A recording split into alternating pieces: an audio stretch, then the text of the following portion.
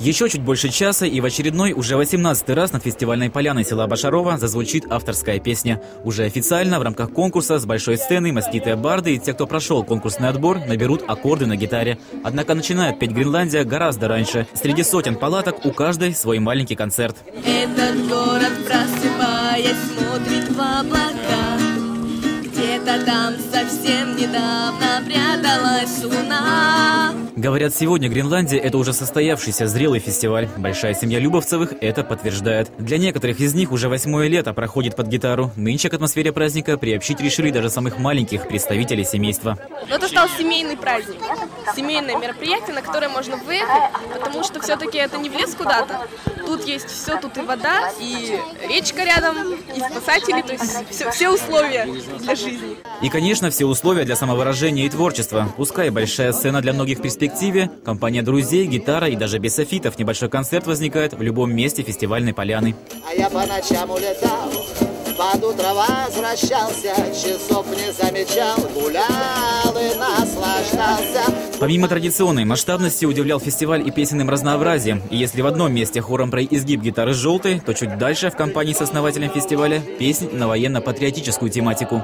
Или он был неизвестный матрос, тот, что погиб у штурвала.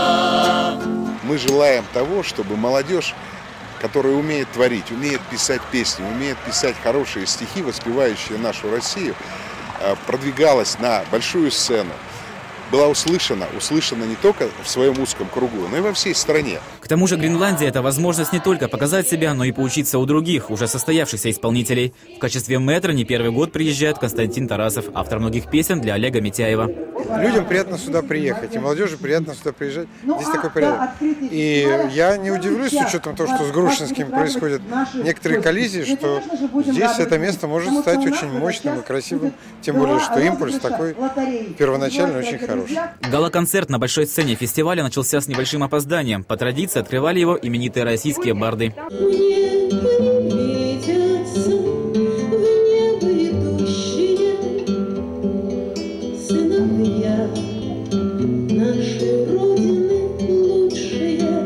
Чуть позже к ним присоединились и первые лица города и области. Не с песнями, а с приветственными словами гостей и участников Всероссийского фестиваля.